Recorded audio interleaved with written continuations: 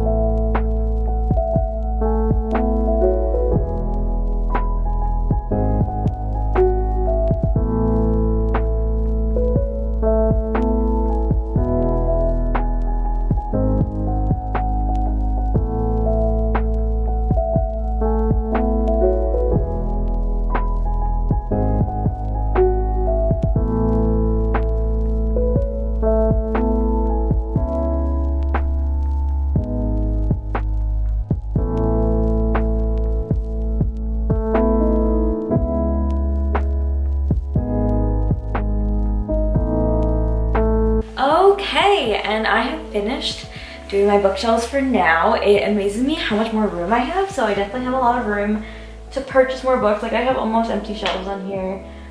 Um, and play around with how I have everything stored. So I'm really excited. I think it looks so good in my apartment. And uh, yeah, so let's do a little close up of each shelf, shall we?